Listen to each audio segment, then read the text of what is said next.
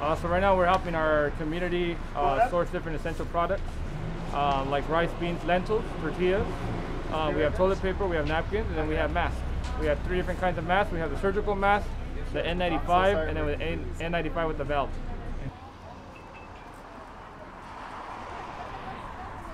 Uh, a lot of these people that are here right now are hospital people. Uh, a lot of nurses, RNs, doctors. Uh, we're also selling to essential workers. We have open until some for 10. general public. Kind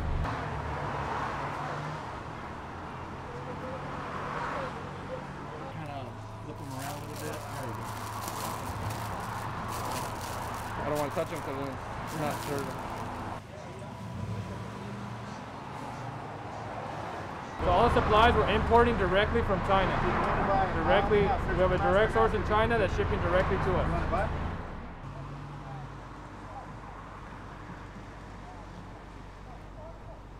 The last batch that we got, we bought at 305 and we sold it at three dollars. So we took a hit on it. What we want is the community to be able to have the mask uh, to help stop stop the spread of it to go back to our normal life, which is what we're trying to work on right now.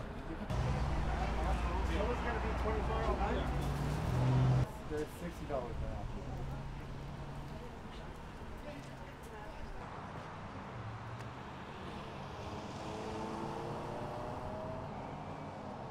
So we're trying to get some masks out of Masataco establishment here, Whittier, and um, trying to get some gloves.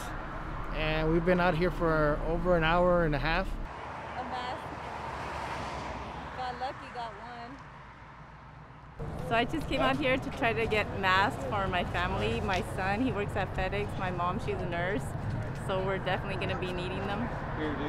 Uh, the only place we could get them right now that, that are available. Oh, this is the G5 tower. Stands for 5G. 5G, yeah.